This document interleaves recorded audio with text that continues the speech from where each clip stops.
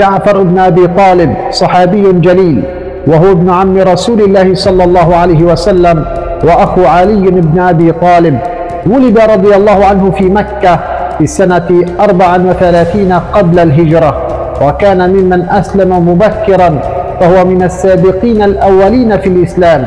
وقد كان رضي الله عنه أشبه الناس برسول الله صلى الله عليه وسلم شكلا وخلقا. فقد قال رسول الله صلى الله عليه وسلم أما أنت يا جعفر فأشبهت خلقي وخلقي.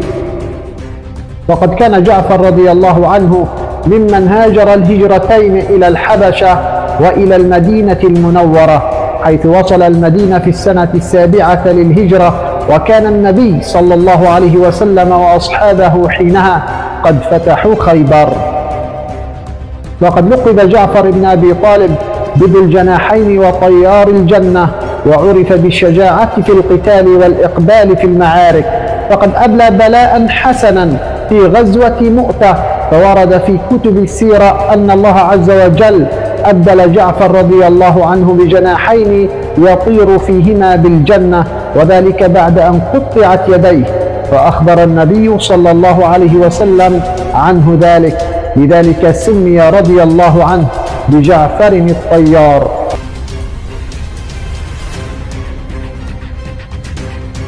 وذكر أن عبد الله بن عمر رضي الله عنهما كان إذا سلم على ابن جعفر قال السلام عليك يا ابن ذي الجناحين.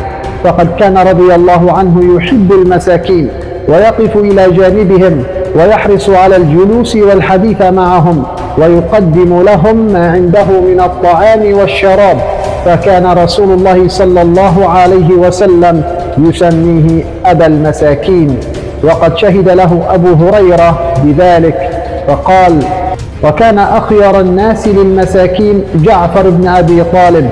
كان ينقلب بنا فيطعمنا ما كان في بيته حتى إن كان ليخرج إلينا العكة التي ليس فيها شيء فنشقها فنلعق ما فيها. وعندما رجع رسول الله صلى الله عليه وسلم من فتح خيبر استقبله جعفر رضي الله عنه بعد أن وصل للمدينة فلقيه رسول الله صلى الله عليه وسلم وقبل بين عينيه. ثم قال ما أدري أنا بقدوم جعفر أسر أم بفتح خيبر؟ وقد شهد له رسول الله صلى الله عليه وسلم أنه من أهل الجنة فقال أريت جعفر ابن أبي طالب في الجنة ملكا ذا جناحين يطير فيها حيث يشاء مدرجة قوادمه بالدماء. وعندما جاء خبر وفاة الصحابة رضوان الله عليهم في معركة مؤتة قال عليه الصلاة والسلام اللهم اغفر لزيد اللهم اغفر لزيد ثلاثا اللهم اغفر لجعفر وعبد الله بن رواحة.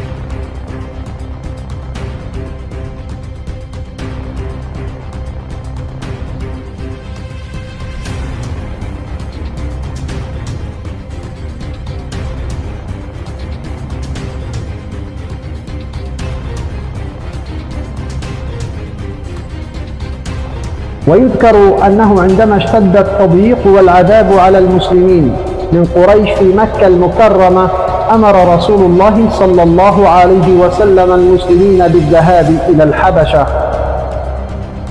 ففيها النجاشي وهو الملك الذي لا يظلم عنده أحد. فهاجر بعض الصحابة ومن بينهم جعفر بن أبي طالب رضي الله عنهم أجمعين. وعندما أدركت قريش ذلك طالبت النجاشي بتسليم المسلمين لهم فلم يستجب لهم. وعندما رجع المسلمين بذلك رد جعفر عليه وقد كان رضي الله عنه أميرا على المؤمنين وقائدهم وخطيبهم قائلا أيها الملك كنا قوما أهل جاهلية نعبد الأصنام ونأكل الميتة ونأتي الفواحش ونقطع الأرحام ونسب الجوار يأكل القوي منا الضعيف. فكنا على ذلك حتى بعث الله إلينا رسولا منا نعرف نسبه وصدقه وأمانته وعفافه. ورفض النجاشي تسليمهم بعد ذلك لقريش. ثم أعلن إسلامه بعد أن سمع بعض الآيات من سورة مريم.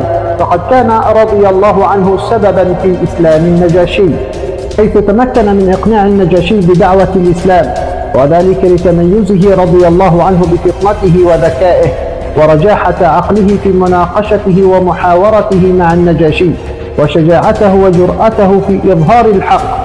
وقد كان رسول الله صلى الله عليه وسلم قد أمر في غزوة مؤتة زيد بن حارثة فإذا استشهد يتولى القيادة من بعده جعفر بن أبي طالب وإذا استشهد جعفر فعبد الله بن رواحة. فانطلق جيش المسلمين لملاقاة العدو فقاتل رضي الله عنه في ساحة المعركة بكل شجاعة وبسالة وأبلى فيها بلاء حسنا. وبعد استشهاد زيد بن حارثة كان قد استلم الراية وقد حماها بكل ما يملك فأمسك الراية بيده اليمنى حتى أصيبت وقطعت. ثم أمسكها بيده اليسرى حتى أصيبت وقطعت إلا أنه لم يدع الراية تسقط أبدا إذ أخذها بكلا عضديه وقاتل حتى سقط شهيدا رضي الله عنه. فقد نقل يحيى بن عباد عن أبيه قولا لكأني أنظر إلى جعفر يوم مؤتة حين اقتحم عن فرس له شقراء فعقرها ثم قاتل حتى قتل فكان أول من عقر في الإسلام. وقد وصفه عبد الله بن عمر رضي الله عنهما عن استشهاده فقال إنه وقف على جعفر يومئذ وهو قتيل فعددت به خمسين بين طعنة وضربة ليس منها شيء في دبره يعني في ظهره. وقد كان للصحابي جعفر رحمه الله تعالى المكانة الواضحة في الإسلام. عن أسماء رضي الله عنها قالت دخل علي رسول الله صلى الله عليه وسلم فدعا بني جعفر فرأيته شمهم وذرفت عيناه فقلت يا رسول الله أبلغك عن جعفر شيء؟ قال نعم قتل اليوم. فقمنا نبكي ورجع فقال اصنعوا لآل جعفر طعاما فقد شغلوا عن أنفسهم. وعن عائشة رضي الله عنها قالت لما جاءت وفاة جعفر عرفنا في وجه النبي صلى الله عليه وسلم الحزن.